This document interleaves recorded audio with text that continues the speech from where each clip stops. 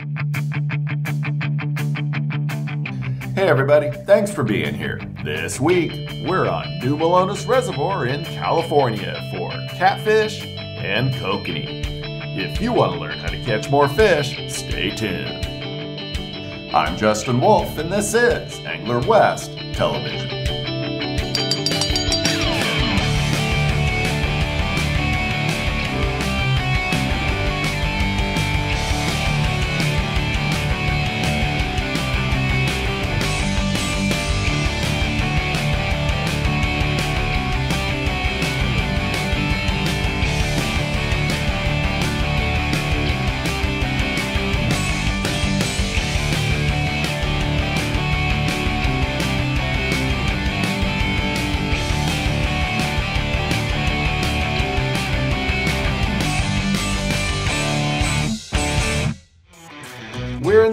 Country of California on a beautiful late afternoon heading to New Melones Reservoir. Tomorrow morning we'll catch kokanee, but tonight we're catfishing with guide Kyle Wise of Headhunter Sport Fishing, Raith Heryford, Todd Shelton, and Richard Kowski. It's late July, and with last winter's huge snowpack still melting off the Sierra Range through the Stanislaus River, New Melones is in excellent condition and fishing well for all species of fish, including the great eating channel catfish. All right, so why here? A lot of trees. If people are familiar with this lake when it was low, Black Bart just littered with dead standing timber. And there's a channel that runs right through the corner of this. And those catfish will just sit right up here on the banks. And we're going to intercept them with kokanee. Reach on. Oh yeah. Little anchovy oil, huh? That's that's strong. So Nice just trying scent to trail. yeah, just trying to make the scent Look trail. at look at the the oil. yeah. Oh. I told them their hook's that small. Look at my hook, Wolf. Now there's one thing I'm doing different than everybody else. I, I went with what I like to use, which is a big hook for catfish. I've always used great big giant oversized hook. And I took a pair of pliers and I bent it ever so much offset. So that's what I'm gonna run right there. Yeah, I'm tying up a two hook mm-hmm. setup for catfish. Mm-hmm.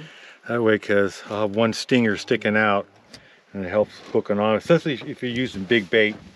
A lot of times it's hard to hook them. And I usually like to leave it a little bit of a gap about about that much. That way I could stick it in the, the head of the bait and wrap it up, and then stick the other hook in. This holds the bait on better. And They're then- using a head and it's big around. So I'm gonna go with the slicker, the little sleeker with my hook hanging out the bottom with two half hitches around the top. So the idea is for when he sucks that dude in off the bottom, then I'll be right there on him. So we'll see how that works out. We had to make a little adjustment to see what happens.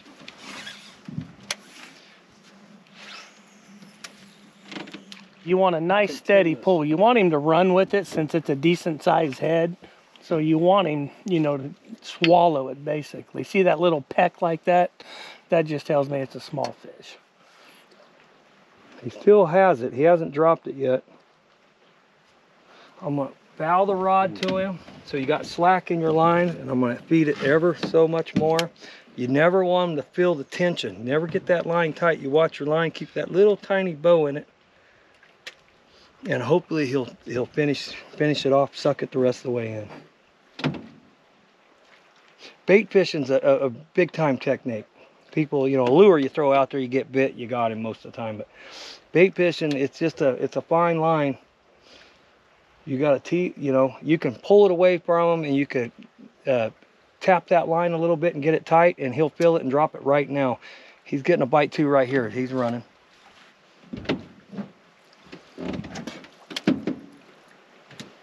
He's, he's, he's got it, but he ain't.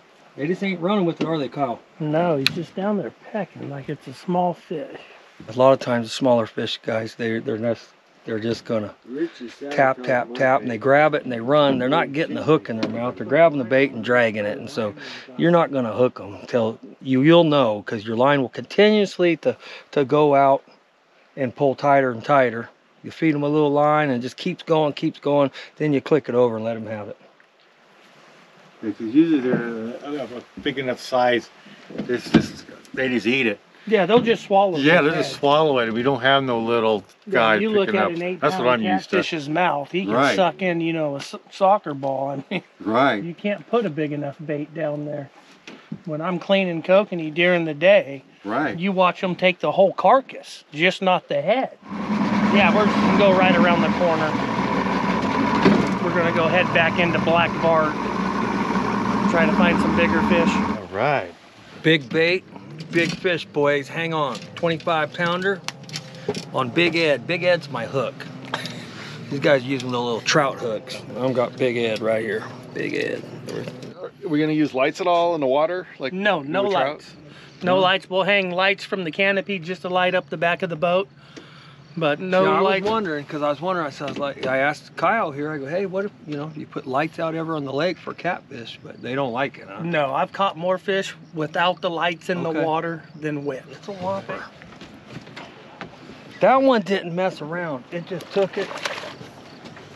Yeah, great big old cat. Oh yeah. Oh, he's Awesome heavy. job, Ray. Yeah, yeah, yeah. Money. Nice one, guys. Oh yeah. See this one? It took it down. I mean, that it didn't mess with it.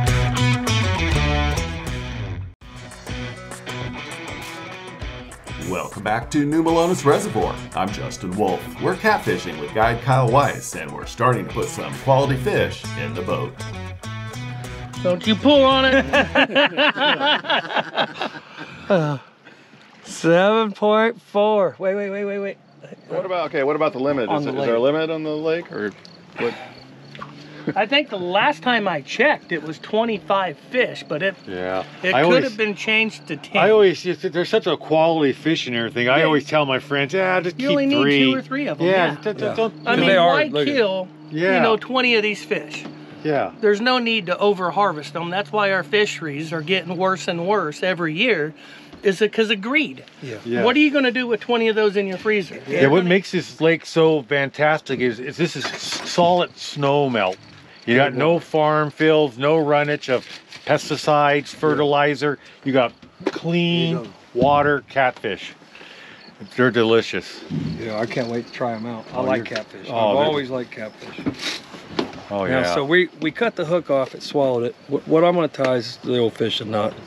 We're going to spin it about six, seven times through the bottom, through the top. Of course, click, pull, you're done. There you go. You're back Yeah. at it. We'll hook the bait on. Keep going. Ready? He's going. He's going. He's going. There he is. Oh. Oh. Does it typically get to be a little better bite as the night goes on, or Yeah, once wait. it, you're over the top of that one, right? Yeah, once the sun goes down, it gets a little darker. These fish will move into these shallow waters and they'll start feeding. So typically you'll see a good bite right after the sun sets. Whoa, he's really working your race. Well, it's, I'm trying to get him out of that other line. Is the only thing. It's a. Oh, I think you're on. Oh, he's a beauty.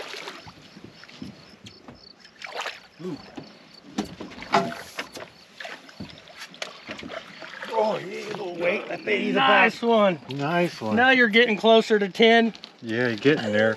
I'll give that one a eight and a half. How, how do you say? Nine. How do you guys say? it? Oops, I did it again. oh, baby! so? This is a channel cat. This is the the best eating of them. There's other types of catfish that aren't as good at eating, but are there like mud cats and other Yeah, there's in- mud cats, there's blue cats, Right, flathead cats. in here? No, no, no, No, no. no. Yeah, no, no, you I just mean- have your your mud cats in here. There's one that's Yeah. called a yellow cat. Yeah. But these channel cats are the ones you want to target. All right. You know, you can see how shiny greenish color they are. Yeah. Then all the channel cats will have these black spots on them. He's messing with the wrong rod.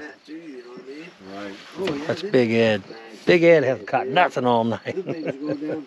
So we're, we're using kokanee that you've caught here in the lake from this lake for bait, and so that's okay to do as long as you catch the fish Yeah, with your from, bait. from everything I've been told, that we could use our carcasses for bait as long as we don't transport it from one body of water to the other. No, son. Oh, you got Richie's line. You got my line? Nice fish. I don't mess around. I get them to the boat. Oh yeah. Damn. He let up. Trigger finger right here. Here he goes. Here he goes. Here he Oh! Easy five pounder. Minus a couple. Like I said, it, where's it hooked at? What did I tell you guys where it was hooked? Told you. Right in the lip. Where? Right in the corner. How's it fighting? He's a, he's a little guy. Up, it's up here, Ray. I'm gonna show Jimmy how you net. Yeah, there you go. I can't reach Call him out. That's right. Oh, it's been a long time since I caught a catfish. I grew up on, on Butte Creek. I grew up on a little cool little catfish stream, and uh, you know I've, I've caught a lot of fish on a little hook with a little piece of worm. That's all you really need. you know? But but I didn't have you know all this stuff. I, I just had. I mean I didn't even, I didn't even have a reel, and I just had a stick. We were lucky to have a worm, huh? Go dig them out of the yard. Well, yeah, we had a lot of worms. so. Oh, he's on route now. He's Oh, that's a good one. one. Woo! That That's is the biggest nice. one yet. That's some girth. Oh, oh, I can't Whoa, get nice oh, net, yeah, Joe. I'll get him. I'll get him. I got him. You need a bigger net for my fish. Oh, that's a good one. break Oh, that's a good one. Biggest oh, one yet. Biggest one yet. Oh my God! Look at the belly on this guy. Oh wow. Hey, Yeah. Now, if you, if you catch a fish and you've never held a catfish before, you'll find about the pointy parts real quick. You know, that'll get you. Right here, right up on top.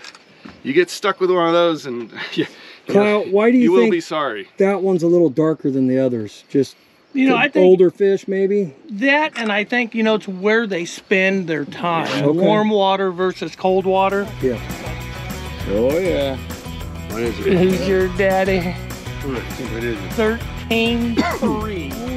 Yeah, 13. Three, All right. Woo, I thought my arm was getting tired for a reason. Good Nice. That's a good one. That's great. Take a look. That's what a big fish looks like.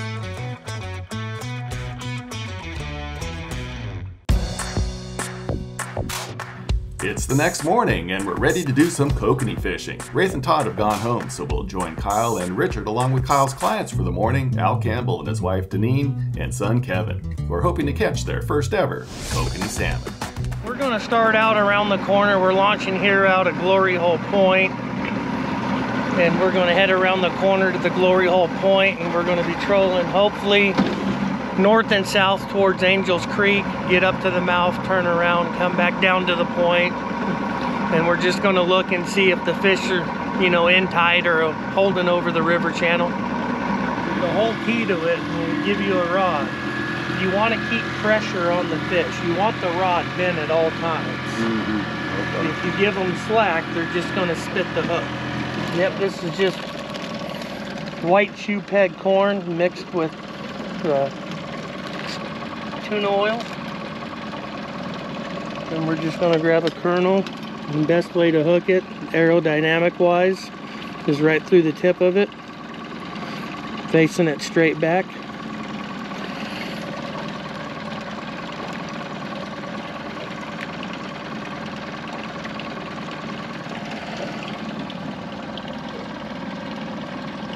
just like so.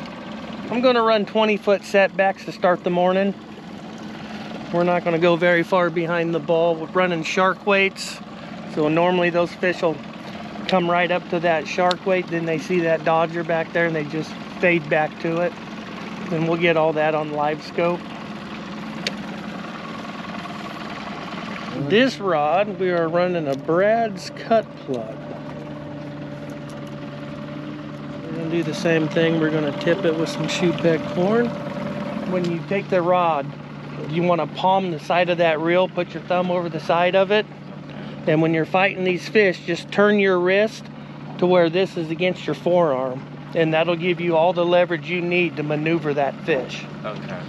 Because most people will grab it back here, they start reeling, and the rod's sitting here flopping, and that's how you're going to lose them. But if you keep it nice and smooth, locked into your forearm, smooth and steady wins the race.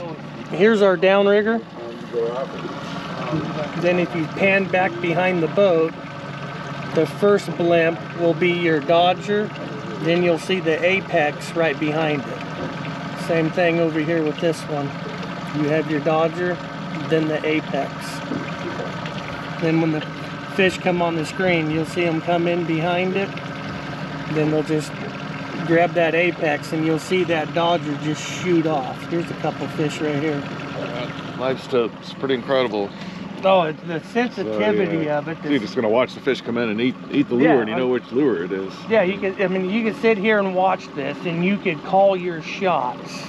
You're like, all right, number two is getting ready to pop, and you you'll see the fish just grab it and just yank it right out of that square, and that'll go before the rod pops off the Chamberlain release. Pretty impressive technology. All right, so you got four rods out. Are they all the same depth, or No, we're that running- 40? 40s on the back, 45s on the port and starboard side. Now just keep that rod bent. Keep reeling. Just keep it bent. Keep pressure on the fish. Stop reeling and just lift your rod straight up in the air. Perfect. All right. Awesome job. First kokanee. Good job. Good Now just close your finger. Like this. Yeah, just close it. Pinch it with your thumb. Then just bend your wrist up. And they'll get a good picture. All right. All right. We're looking at uh, 80.1.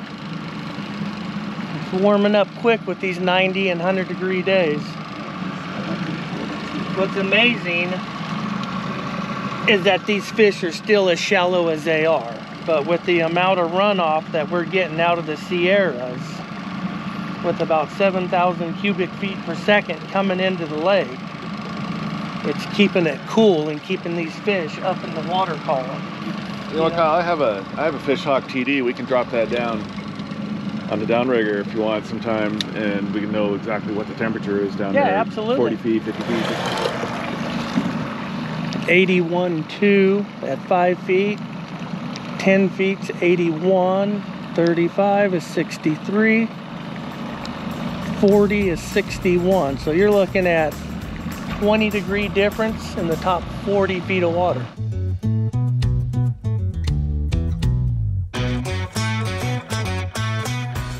Back to New Melones Reservoir. I'm Justin Wolf. New Melones is known as one of the top, if not the top, kokanee lakes in California, but it's also loaded with quality rainbows. Straight up, straight up, straight up. Perfect. Good job. Nice. Wow. Look at that Nice rainbow. Yeah, this year is a perfect scenario, being that the lake was been so low for so long. All the shoreline created grass, weeds, and the lake went back up because of the snow melt, causing algae.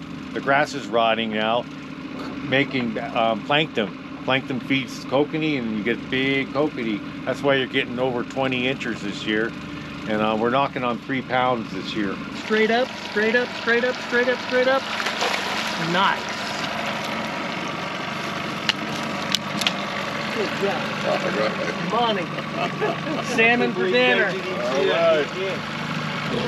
Came over here to fish the structure. What do you mean by structure? Over here in the spillway, there's a big flat. If you follow the contour of the land, see how it goes from steepness to flat? When we get over here, it's going to jump up on a shelf. And these big females will go up on those shelves and just lay right on the bottom. So we want to go in there with our stick weights and just skip them right off the bottom and try to get these big hens off the bottom of the lake. Oh, Here comes another one. Here comes another one. He's hot. A couple of them just moved in on it. He's on. He's on. Good man. This is a good fish. That's a good one. Oh yeah, just jump. Oh, who got here? Here's another one. Someone come over here. Keep your rod tip low. I think you lost yours. Think positive. Two in the net. Yours is getting really close. Keep going. Just keep it tight. Quit reeling. Quit reeling. Lift straight up. Straight up. Big fish. That's a big one. Let me see your... Oh my god, that's a big one right there too. That is gone. They're 17, 18. Quit reeling and lift straight up, straight up, straight up, straight up. Got 'em. Those are nice fish. Okay, that that increases oh. your hook up the landing ratio pretty quick. There you go. Those are some of the best kokanee in California for sure right now. I mean, where else are you gonna find fish like that? You're not. Yeah. And see how the heads are starting to turn into a pre-spawn? Starting to kite. Yes, right. Beautiful fish. Lift your rod up slow.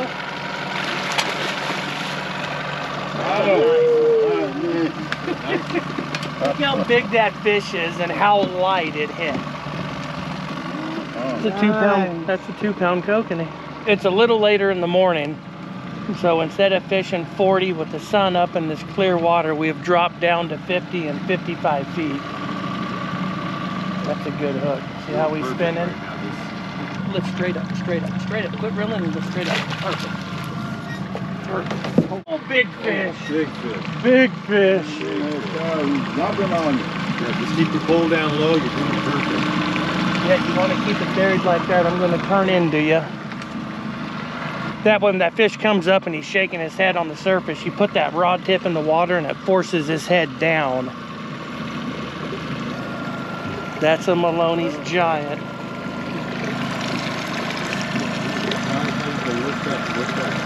Lift up slow. Lift, lift, lift, lift, lift, lift, lift.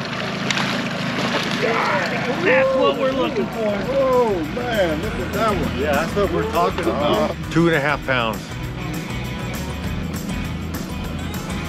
Oh, you were way off. Way off. 268.